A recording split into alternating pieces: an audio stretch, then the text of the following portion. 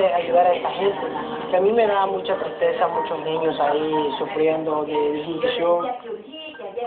Cuando era pequeño era perder, pues, ay, jugaba años, venía a las clases, y la mamá como era enojada, le, le pegaba, pero él decía que no, iba, lo mandaba, y una vez me mandaron a traer, mandaron a traer a mí, que me habían venido, yo me fui acá, y entonces me dijo un profesor que lo traía, estaba y porque el otro día lo vi, mire Marvin me dijo que se lo regañaba y todo, por eso me dieron perdón.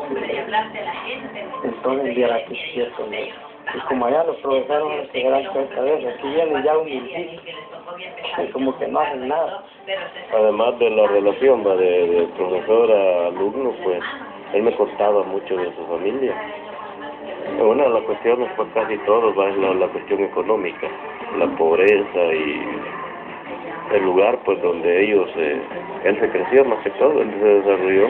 Aquí antes era una zona marginal, que todavía se considera, pero ahora pues ha mejorado mucho. Ellos son desplazados de lo que es el conflicto civil de El Salvador, vienen a habitar esa parte ahora sí cogotera y desde entonces es una colonia con bastante hacinamiento, una colonia muy populosa, donde la juventud vive en un caos donde el, lo único bueno que se logra ahí es a veces, a veces a través de personas como Marvin, a través del deporte, a través de participaciones en la, en la sociedad de San Francisco Gotera, pero sí tiene sus limitantes y es de rescatar eso, Marvin de donde viene es un lugar donde hay bastante riesgo.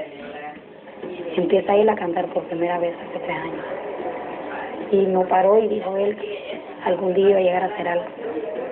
Esto de la música viene, yo, él estaba como en, en, octavo grado, iniciando el octavo grado, en séptimo él cantaba y todo, pero en octavo grado, este, él, a través de él, yo conocí a unas personas de un circo, como que eran familiares de él, uno de ellos, cuñado, no sé qué era, y yo, eh, como tengo un grupo musical, el cual se llama Palma, en esos días ocupábamos un cantante.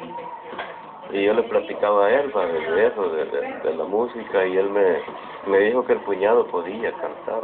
El nombre, de Flip, yo lo saqué de, de una película de, se llama Bichos, la película se llama Bichos, es la hormiguita que sale a buscar el, el porvenir para su, para su colonia, de ahí saco yo el, nombre, de ahí lo saqué y le puse Flip, nada más. El King él lo puso.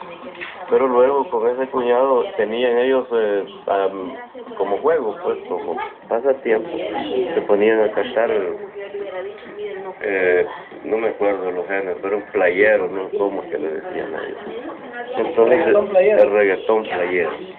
Entonces por ahí empecé yo a observar en él esas cuestiones de lo artístico. Me agarró por un género que yo no, bueno, no es que no me guste, sino que no, no es mi música.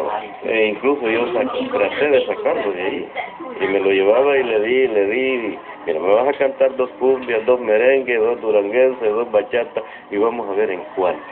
Y no, él las ensayó, se las aprendió y me las iba a cantar, pero no, y allí tomamos la decisión y le dije, vaya, vamos a hacer lo que tú, para lo que tú traes. Y es el, reggaetón. Ya volvemos con más de The King en reality, gracias a Santa Cola.